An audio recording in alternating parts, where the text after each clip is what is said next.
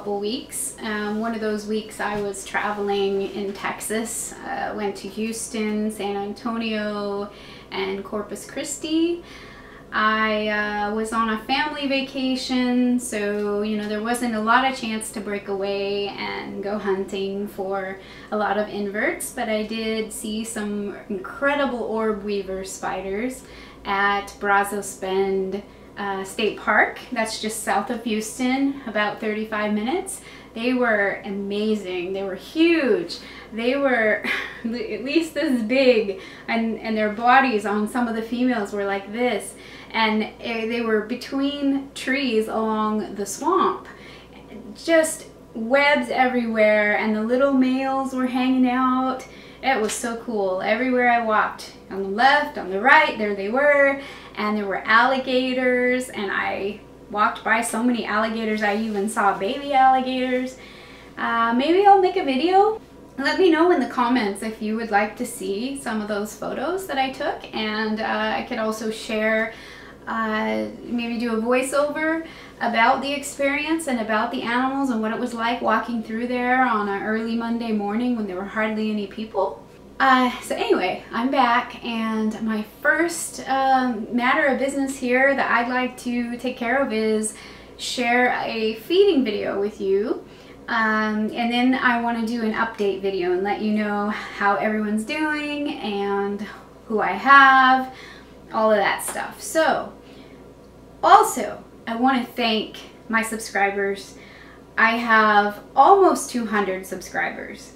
And given that I am not really trying um, to entice people to come and I'm just doing this for fun, whatever I can I can do, whatever I feel I can do, I'm really grateful. So um, I definitely do have things planned. Um, to to give to my subscribers, you know, some some giveaways, but um, that's in the future. And for right now, um, let's get on with the feeding. Okay, here we have my Grammostola pulchripes, little thing. Little thing is suspect female. This is my very first tarantula was a tiny little sling that uh, when I took it out of the vial, it stuck its little butt in the air and did the I'm a big spider. So, let's see. We had a molt. We've eaten since the molt, but maybe today little thing is hungry. We're gonna find out. I can see little thing is in a shy posture, so it's very possible this isn't gonna work.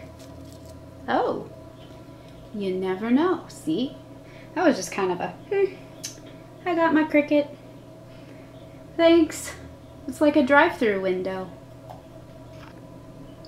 Okay, my Haplocosmia himalayana, and this just might be one of those nothing to see here folks type of days, type of feedings. Um, and when this one does eat, it grabs its prey and disappears. It's lightning fast, it's a fossorial, I don't see it much.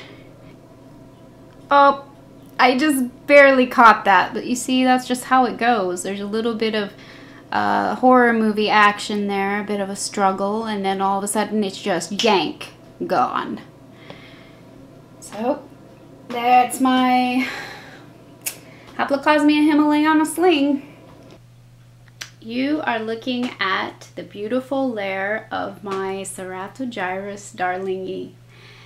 This is the rear horned baboon and this one is a juvenile and it molted, hmm, it's been close to five days or maybe more, I'm not sure.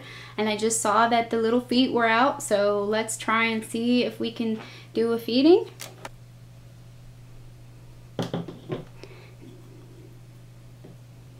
Do we have a hungry one? Or a grumpy one? Two minutes, that's a long wait.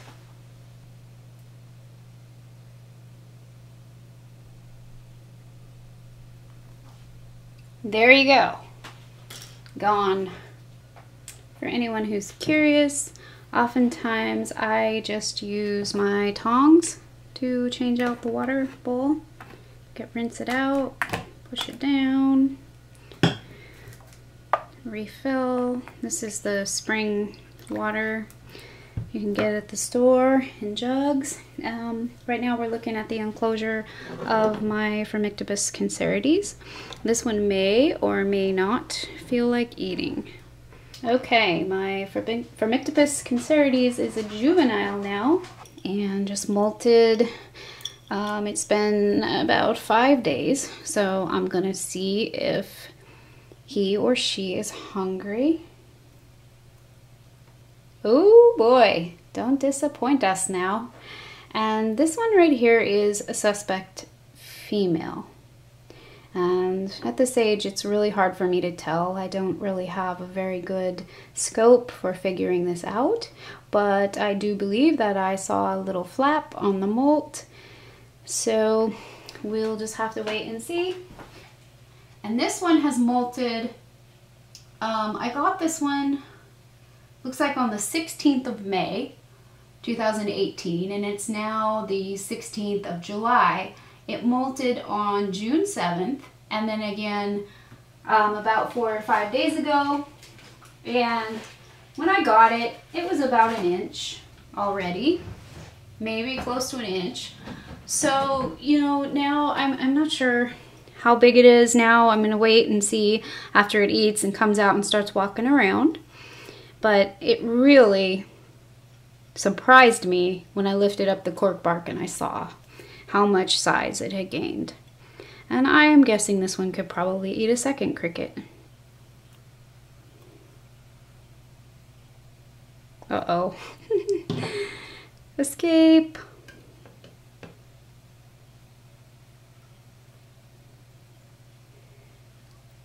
well.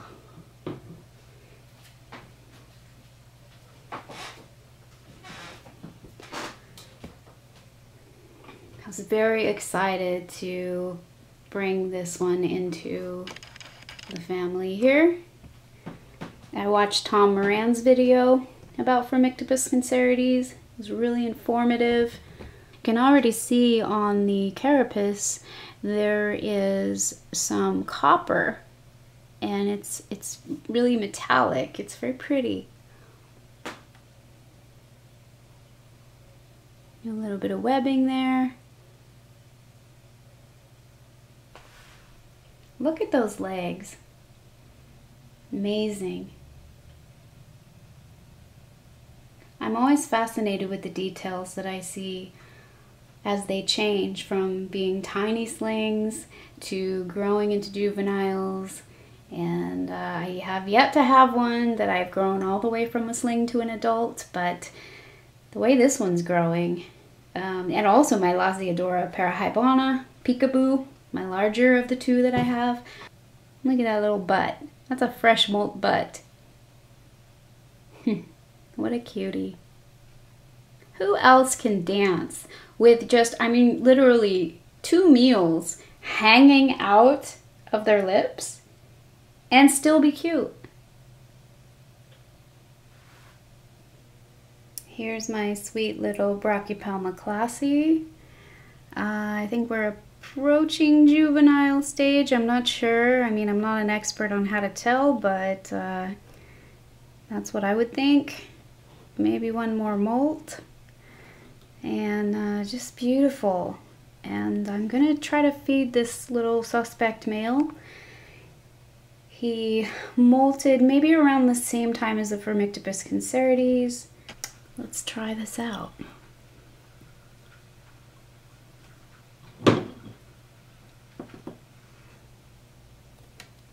Oh, well, surprise! There you go. Now, this video is not bringing out um, the pink coloring that this one has on its legs. One more thing I want to say about my Brachypelma klaasi is I have this uh, fake succulent and it's very, you know, the shape of it's very nice and I can put it over the burrow like that and there's plenty of places where there are exits and entrances. It's right over there.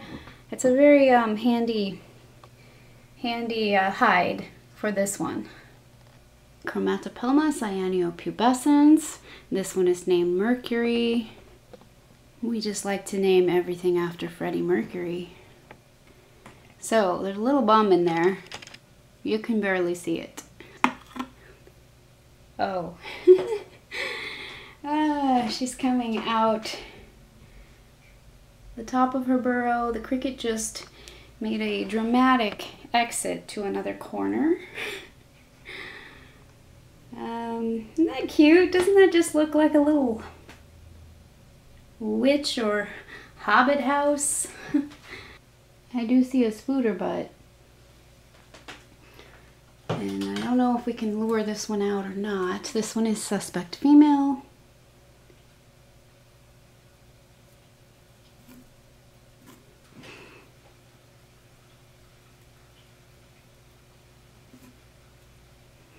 Okay, let's try this.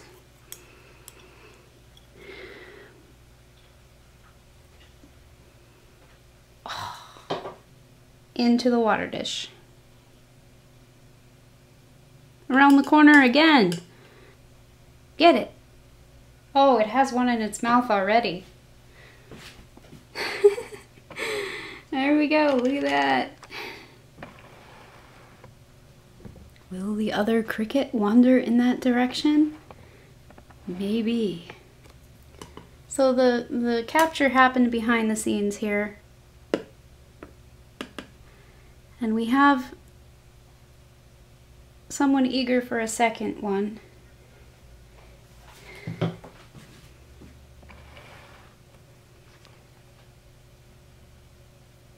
There we go, gotcha. And this one, the last molt, definitely a juvenile now. Really is a stunning species. Right now the abdomen is orange and black, almost like tiger striped.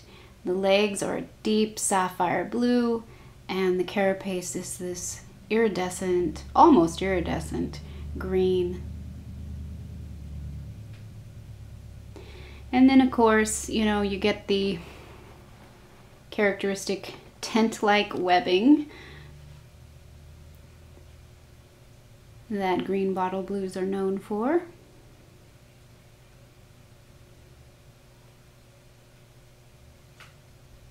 Very pretty little abdomen. Has a shiny copper patch on the abdomen where there's a lot of urticating hair. Sometimes people mistake this for a tarantula being in pre-molt, but they are different. In pre-molt, the actual skin on the abdomen will be dark and the abdomen will be bloated. And the legs on the tarantula, if you look very closely, will appear to have shrunk a little bit because it just seems like it must have something to do with the hemolymph and getting ready to molt. They, they almost appear dehydrated. The legs look more spindly. And that's usually within a day or two of a molt.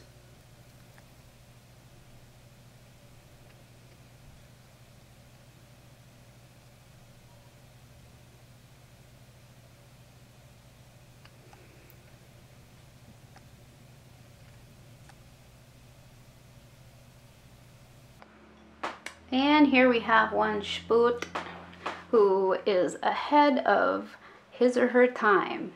This is a Acanthoscurria geniculata.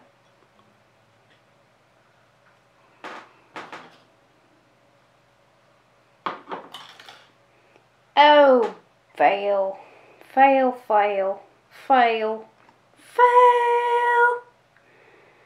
Dang. We're talking about little spider with big attitude. This is my Lasiodora parahybana. Actually, this is number one. Number two is Peekaboo, the bigger, the bigger of the two. And I had to take the cork bark off so that you can see the burrow. And uh, let's try this a feeding.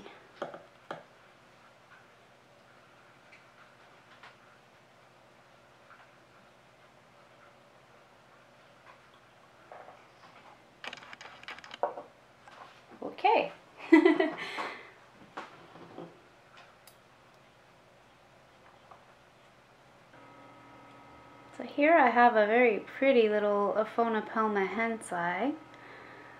This one molted and has been scurrying around a lot more since this last molt and I'm going to attempt a feeding. Or the cricket's just going to take a walk. Okay, let's try this again.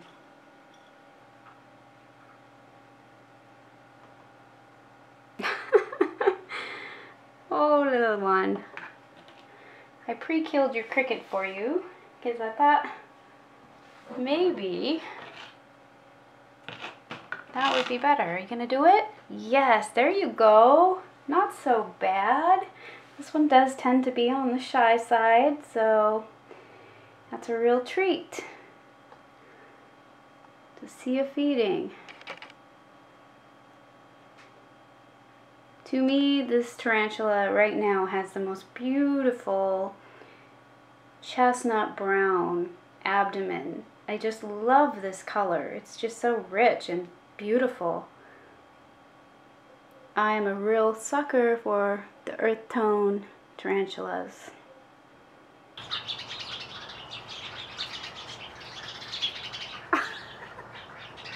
He's flirting.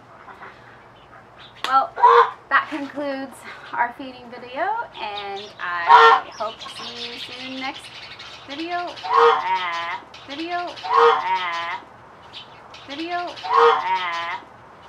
Video. Well, that concludes another feeding video. I hope that you've enjoyed it and you'll be back to see what's next.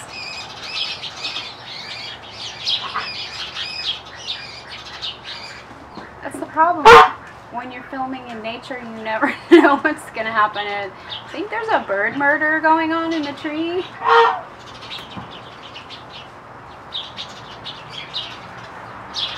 Anyway, bye.